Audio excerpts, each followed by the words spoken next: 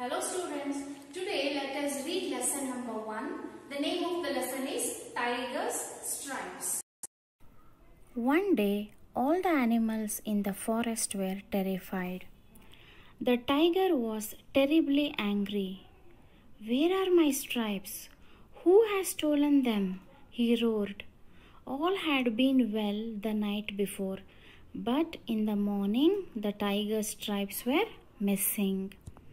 Tiggy, the little tiger cub, was very upset.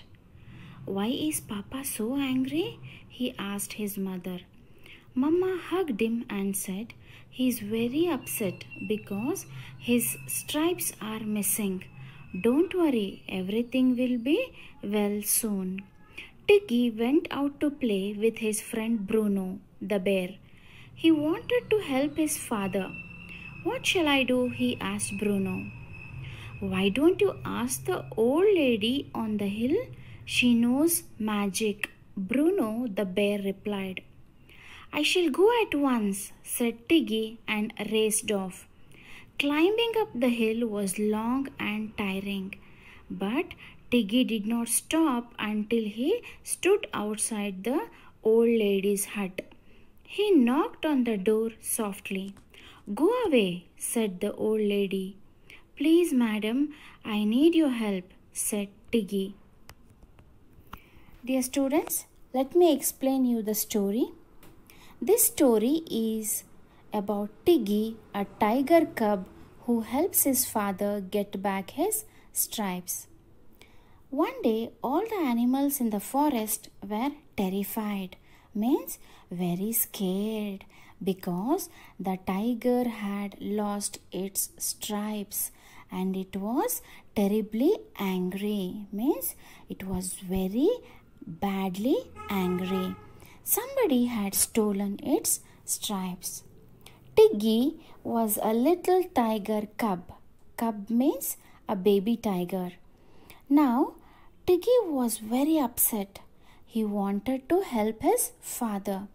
So, Tiggy asked his friend Bruno the bear to help him. Bruno told him to go to the old lady who lived on top of the hill and take her help because she knew magic.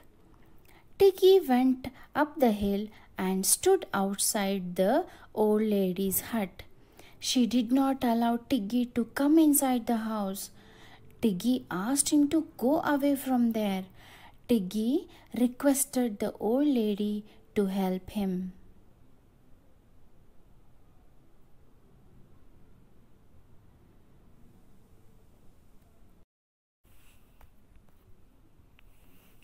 Dear students, let us read the remaining part of the story now. Please pay attention. He heard footsteps coming closer and closer. Then the door opened. He saw a very old lady wearing a tattered gown. She looked angry. Who are you and why are you here? she asked. I'm Tiggy and I want some magic powder. My papa has lost his stripes, answered Tiggy. Run away, I'm not helping anyone, she said. Big tears rolled down Tiggy's cheeks. The old lady's heart melted. She gave him a tiny box. Sprinkle the powder when the tiger is asleep, she said. Thank you very much, said Tiggy and ran back home. That night, Tiggy quietly sprinkled the powder on his father as he slept. The next morning, the tiger's stripes were back. All the animals were overjoyed. There was peace in the forest again. Dear students, I will explain the story now. The old lady did not allow Tiggy to enter the house, but Tiggy stood outside her house and requested her to help him. After some time, the old lady came out of the house. She was wearing a tattered gown. Tattered means torn gown. The old lady was wearing a torn gown. She shouted at Tiggy and asked him to go away. But after, but after some time, when she saw Tiggy's tears, she decided to help him. The old lady gave Tiggy the magic powder and asked him to sprinkle on his father when he was asleep. Sprinkle means to drop or to spread small bits of something. Tiggy thanked the old lady and ran to his home and quietly sprinkled the magic powder on the tiger when it was asleep. The next morning, the tiger got its stripes back. All the animals were overjoyed. Overjoyed means very happy.